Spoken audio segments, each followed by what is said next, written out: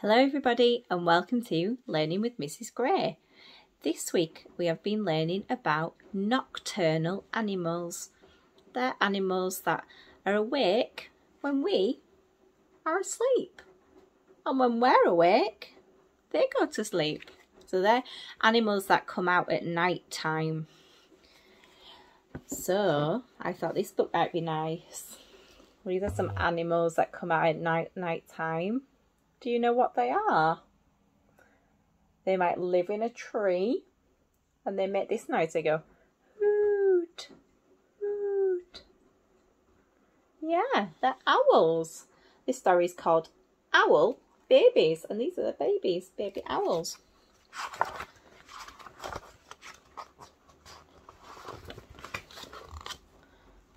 Once there were three baby owls. Sarah, Percy and Bill. They lived with their owl mother in a hole in the tree. Their hole had twigs and leaves and owl feathers in it. So there, all the twigs and the leaves and the feathers. A lovely house. One night they woke up and their owl mother was gone. Where's Mummy? asked Sarah. Oh my goodness, said Percy. I want my mummy, said Bill. They've lost their mum. I wonder where she's gone. They're looking out of the little hole in the tree. Mum, where are you? The baby owls thought. All owls think a lot. I think she's gone hunting, said Sarah.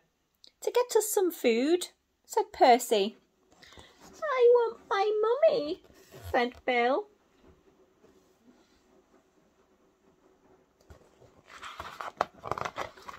But the owl mother didn't come. The baby owls came out of their house and they sat on a tree and waited. There they are, look, the baby owls all sitting on a branch. Where's Mum? A big branch for Sarah. There it is, there. A big, very big branch. Big branch for Sarah. A medium-sized branch for Percy. And a small bit of ivy for Bill. She'll be back, said Sarah. Back soon, said Percy. I want my mummy, said Bill. Oh, he's a little bit sad because he, he's the littlest. He's only a little baby. He misses his mum. It was dark in the wood and they had to be brave for things all moved around them. It's a bit scary. Look, it's all dark. There's lots of noises in the woods. Oh, bit scary for three little babies. Look, they're, they're sat there. Look, three little babies. It's so scary in the woods. She'll bring us mice and things that are nice, said Sarah. I suppose so, said Percy. I want my mummy, said Bill. Oh, I wonder if she'll come back soon. They sat and they thought. All owls think a lot. I think everyone should sit on my branch, said Sarah. So they did. I'll sit in with Sarah. She's the biggest owl. All three of them together. Well, that's a good idea. They won't be by themselves then. Suppose she got lost, said Sarah. Or a fox got her, said Percy. I want my mummy, said Bill. The baby owls closed their owl eyes and wished their owl mother would come. All shutting their eyes, making a wish. I wish my mum would come.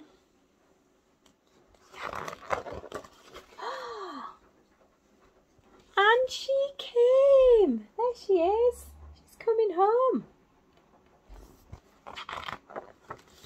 Soft and silent, she swooped through the trees to Sarah, Percy and Bill.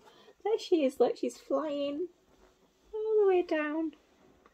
So Sarah, Percy and Bill, there they are sitting at the bottom.